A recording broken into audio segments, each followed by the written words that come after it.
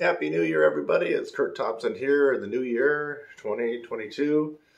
It is Sunday, January 9th, and wow, I'm dragging my feet, right? Uh, yeah, this is the third and final shout out. It's kind of a recap on what happened with our fundraiser for Trumpet Champions Inc.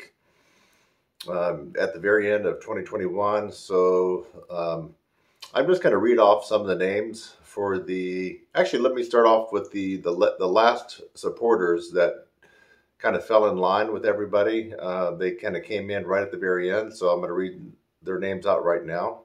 Okay, we have Randy M, Caleb F, Colin D, and Harold K if you could give them a nice warm round of applause because those are the last supporters that came in after the second bunch. So let's work our way backwards to our second group. Dennis W., Rusty A., Fabio M., Steve P., Curtis H., Jack L., Chuck S., and we had three anonymous donations about that time. And then our original donors from way, I think maybe starting around Giving Friday, or no, not Giving Friday, Giving Tuesday, which I think was November 30th. Well, let's see here. Um, yes, uh, Fran- Francesco G, Darian R, Colin B, Randy N, Kevin G, Hal P, Terry T, Liu P, Dominic P, David C., John C. I really want to thank you guys and gals for chipping in, helping us out. And some of you actually chipped in more than once. So I saw a couple names come up kind of near the end too. So I guess I should make mention that um, in the end we had what four or five people, new people, but there were also several of you that had had kind of given at the beginning. They came back and gave a little bit more at the end. So we really appreciate that. Now I'm going to put up some screenshots of what we kind of tallied up as far as a total. You know, we kind of missed the mark pretty decently on the Indiegogo fundraiser. So uh, I'm going to put a, a screenshot of that right now. You can see when we finished up on New Year's Eve 2021, we had $4,435. You may also not have been aware of that we were also trying to raise funds on YouTube, Facebook, and Instagram. Facebook and Instagram really didn't do much. Um, I donated 20 on each of those, but it never went beyond that. But on YouTube, actually not too bad. So if you're looking at the screenshot here, $1,283. And then just uh, off the trumpetchampions.org website, before I switched gears and had all the links go to Indiegogo, uh, we actually raised, uh, where is it? Let's see here, 500. There you go. If you look at the screenshot, we raised $500. All right, so we had a total of $4,400 in change from Indiegogo, 500 from just off the trumpetchampions.org website at the very beginning. And that puts us close to 5,000 um, 1300 from YouTube, almost. So what is that? About 6300. You know, that's kind of almost getting close to what we raised last year. So 6300 and we were shooting for 12,005. So we got 50%. I think we can do something with that. You know, I was thinking about the other nine members of the group.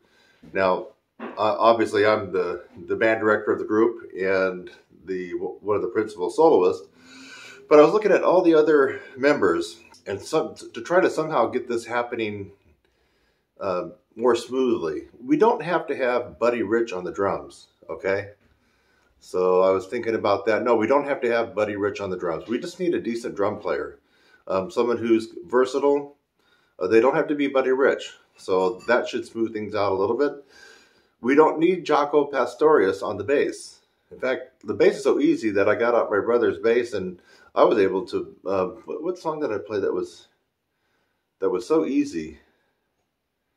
Uh, was it the um, wasn't the Bert Kaempfert. Anyway, I'm just thinking out loud. But anyway, I kind of I kind of plucked out a little bit on the electric bass on one of the songs, and it was that easy. Now I don't play bass that much. I kind of fool around with it sometimes. Now, if I can actually mess around to get something going, that means we don't need Jaco Pastorius on the bass for this group. It's really the trumpet players that have to be, you know, I'm fired on all cylinders. So, um, so that's going to make it a little bit easier, right? Um, okay, so we don't need Buddy Rich on the drums. We don't need Jaco Pastorius on the bass. We just need two decent players. So they don't have to be, you know, the, the best pro players in the world. They can just be advanced, I would say, decent players. Uh, let's go to the bari sax. The bari sax, I would say, definitely needs to be advanced or pro jazz. Now, they could be a student, maybe at North Texas or, or somewhere in a jazz program. But the bari sax is going to get some of the jazz solos, and they're going to stick out. So they actually do have to be pretty good. So I would say their level has to be better than the bass and the drums. Uh, they, they have to pull off the jazz pretty convincingly. Let's go to the bass trombone. The bass trombone doesn't need to be, you know, the um, Bill Watrous of trombone. Uh, I would say a good, a really good intermediate, or maybe um, kind of at the bottom rung of advanced for bass trombone. So because they're not really doing any solos, and it's a fun part, but so we got that straightened out. Now the tenor bone part, yes, that does need to be either advanced, could be a really good college student uh, that's in the jazz studies program that knows their jazz, or it could be uh, the pro. So that one, that that position does need to be good. And then now let's look at the trumpet players. I'm going to be able to handle the most difficult. I can play all the parts that we have, the, even the Carnival of Venice. Okay, so I can do it all. So I'm not worried about that. I don't want to do it all because it's just ridiculous to go from Maynard to Bud Brisbois to Bill Chase to Carnival Venice. Hello. I don't think I want to do that. So the classical guy that we need to get in here, or gal, uh, doesn't necessarily have to be a pro at just that, but uh, because Carnival Venice and the Trumpeter's Lullaby, which is what they're going to be handling, is not horribly difficult, but you have to be pretty good. So I would say uh, we needed a good advanced player on the classical the classical chair. And then the rest of their job is just going to be kind of utility trumpet. You know, they're going to be switching back and forth, and uh, maybe if they want a solo, they can have one. Well, they got the two solos, the two classical solos, so that might be enough. But otherwise, they're going to be playing a sectional, so that's not going to be that hard. Uh, let's see what else. Um, okay, so for the the lead trumpeter, it's really not that bad. It's really not that bad unless they want to um, switch it with me sometimes and uh, you know take over you know just trade off solos that I'm going to be doing. So the lead trumpet player should be an advanced player, but doesn't have to be a working pro. They they just have to have you know good range, some experience, and I'll talk more about that. But yeah, we do need a, a good advanced uh, lead player. Um, they'll be doing solos, but they don't have to be the Wayne Bergeron of lead trumpet players. Okay. Uh, the jazz trumpet player, I would like for them to be pretty close to pro because we're doing Dizzy Gillespie's Bebop. And I would now I can I can play that solo and I can follow the changes and if I really worked on it I could get it going but I don't know if I could pull that off the best. I'd like to have a pro do that. So we could settle on an advanced player, a really good college kid, or a pro for that one. Um, I'm not gonna I'm not gonna relax my standards on that. And let's see what else. Um, so we got the Classico, we got the lead, we got me, and then we got one other trumpet player to make four. The other trumpet player could be kind of an all-arounder. So I would say maybe a really good advanced player. It doesn't have to be pro for that. So the reason I'm thinking out loud for everybody is that, you know, I can relax my standards a little bit for the group. It's not, we don't have to have everybody be at the, the level uh, of the trumpet players. So I'm going to try a different angle here of getting folks in. And I, if I relax my standards a little bit on some of the ones I just told you about, I think that's going to be easier. And then it's just a matter of getting the right trumpet players, um, especially the jazz, the jazzer. If I had to pick one of the four of us uh, that would really be the best, and I'm talking about even if I could find someone better than me, I'd like to have the jazz trumpet player I would like that person to be the best, um, even better than me if we could find it. So um, Jon Faddis, Wynton, that's kind of the level I'm talking about. But um, I mean, that's just kind of um, maybe wishful thinking. But, but, basically, the jazz trumpeter does need to be able to hold their own. Uh, that's um, certainly going to be true. So that's where we're at. I kind of got burned out just a little bit.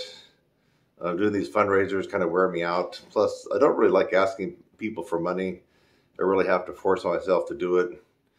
I'd rather just earn the money, do something good. For example, you know, playing the concert and have people give because we gave something like that of value and they want to help out that way, as opposed to just doing the fundraiser. So hopefully, at the end of this year, it will be different. Okay, what else? So yeah, I kind of got a little bit burned out, and I'm kind of letting the dust settle, getting back into it. So probably the next week or two, I'm going to go ahead and start putting some listings on Facebook and some of my pages, maybe some other places, and, and see if we can start rounding up a group um, that can get together and start rehearsing. I believe we have raised enough to where we could have enough rehearsals um, to put something together for probably one really good performance and, and also hire the people to record it. I believe that's just about what we have, uh, maybe we're talking a lot about a lot of people, a lot of rehearsals, and people coming from different directions. So there's, like I mentioned in the fundraiser, there's some expense involved. But um, yeah, I also thought about, believe it or not, I, am I'm thinking about doing some side hustles um, to just try to see if I can put some more money in the coffers for Trumpet Champions. So uh, maybe I was thinking like the DoorDash deal. Uh, what's another one? Uh, Instacart. Um, even I even thought about giving plasma. So kind of reached the end of the line here where I guess nobody else really wants to help out much more. Um, I've given more than everybody else. If you just take away my time, I've given thousands of dollars since last year, my own personal money. Um, I'm willing to stick it out a little bit more. So um, I heard I could make a thousand dollars a month by giving plasma. So that would add another thousand for us for Trumpet Champions probably screw up my arm. But um, at least we get to help out some people, though. You know, the plasma helps out people that really need it. So I heard I could do that. So there's another thousand for the group. Um, um, maybe you might see me knocking on your door with a little DoorDash. I'll go shopping for you. Um, I can't really take money away from my, my teaching and other stuff because that kind of supports me. I mean, that's pays my bills and other stuff, so I can't really dig into that. So I have to do something extra.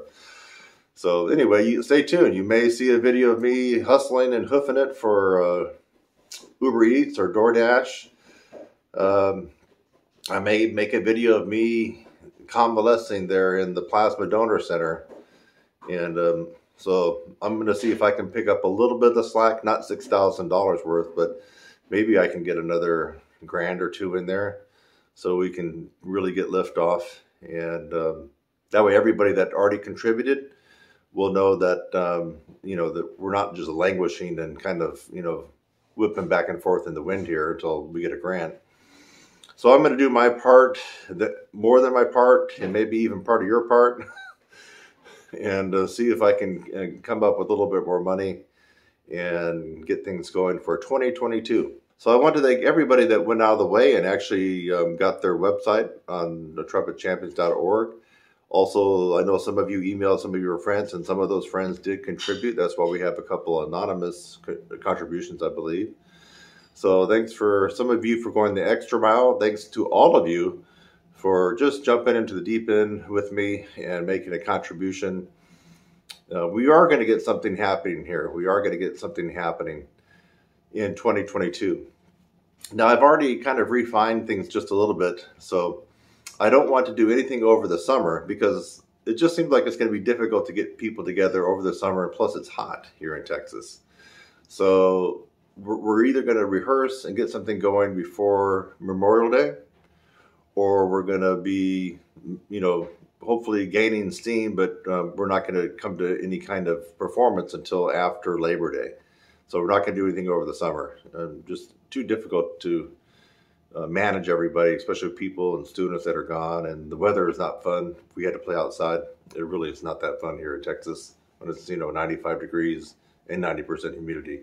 I'm just not going to play in that.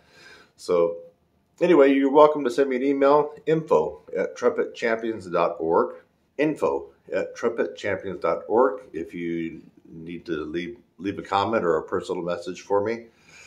Yeah, let's see what else. Um, January is already flying along, isn't it? We're coming up to the middle of January almost this week. And I'll be in touch. Probably not right away, but uh, look for something maybe coming up in maybe in February. We'll start digging in and see if we can get something something moving in the right direction. So I'm Kurt Thompson. We worked hard.